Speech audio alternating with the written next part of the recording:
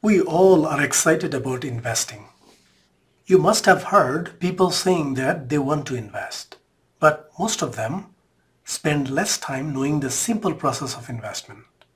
I would highly recommend knowing the basics of investment process before you even start investing. So, I will talk about the basic investment process in this video. I assume that you already have a clear understanding of different asset classes such as real assets and financial assets. If not, you may want to check my previous video where I discussed real and financial assets. The link to that video is given right here and in the description below. Investors make two types of decisions in constructing their portfolio. The first decision is the asset allocation decision, which is the choice of which broad asset classes to invest. Investors can create different portfolios by changing the percentage of funds in different asset classes. For example, you may want to invest 60% of your money in equity, 30% in bonds, and 10% in treasury bills.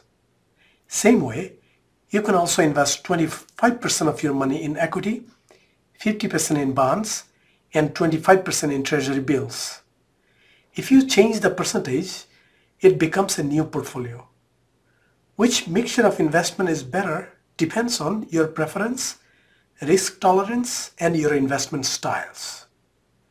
Bear in mind that primary determinant of a portfolio's return is how you allocate your dollars in different asset classes. The second decision is the security selection decision, which is the choice of which particular securities to hold within each asset class.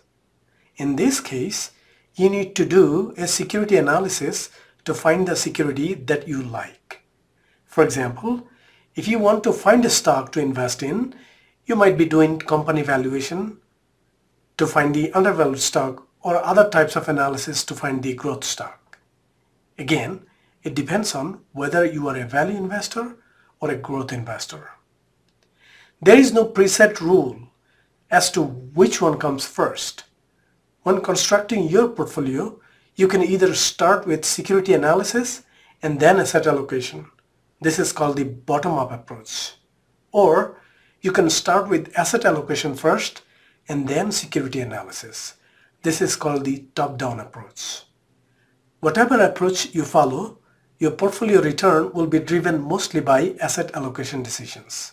The reason is that Asset returns are guided by risk-return trade-offs. As an example, stocks are riskier than bonds and thus can earn you a higher return. Now that you have some idea about the typical investment process, the next question on your mind could be, what average return can I make if I invest in equity? To know the answer, you can check out the next video, the link of which is given right here and in the description below. So I hope to see you in the next video.